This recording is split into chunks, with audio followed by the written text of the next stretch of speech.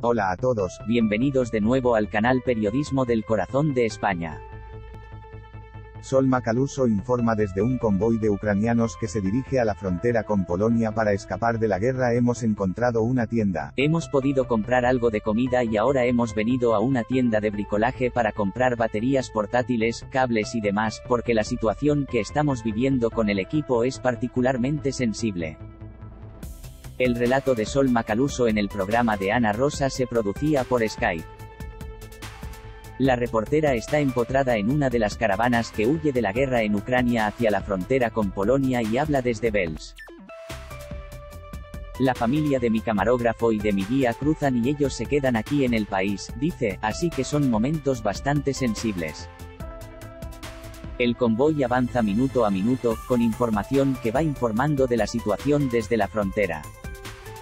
La situación es distinta para quienes trabajan en prensa, la familia de Estefan, mi camarógrafo, al no tener acreditación de prensa a lo mejor tiene que hacer muchas horas de cola, hasta 20 o 25 horas de cola para cruzar la frontera con un niño pequeño, relata Macaluso, que pese a que podría obtener alguna facilidad por su trabajo prefiere no separarse.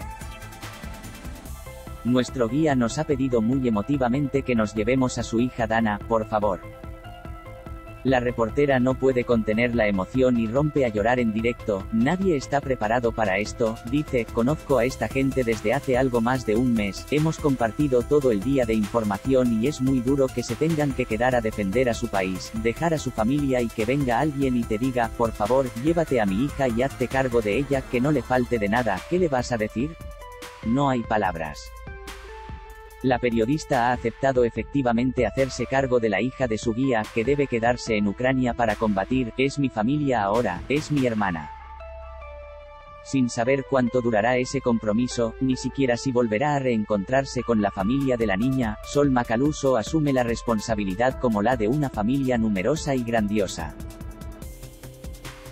Lo que haga falta, asegura, el guía tiene que volver a buscar a su mujer, que espera a 40 kilómetros de Kiev en una de las casas en las que se refugiaron en el camino, y sus padres, refugiados en Kiev, no quieren abandonar la capital, son muy mayores y están solos, no saben hasta cuándo hay provisiones de comida, describe la periodista. En una nueva conexión con Telecinco, horas después, Macaluso confirmaba que ha decidido quedarse en Ucrania tras poner a salvo a la pequeña, Dana está con una compañera de nuestro equipo que se la va a llevar hasta Barcelona. Gracias por ver el vídeo completo. Por favor, haga clic en me gusta y comente su opinión para que podamos discutir juntos. Nos vemos en los próximos videos. Adiós.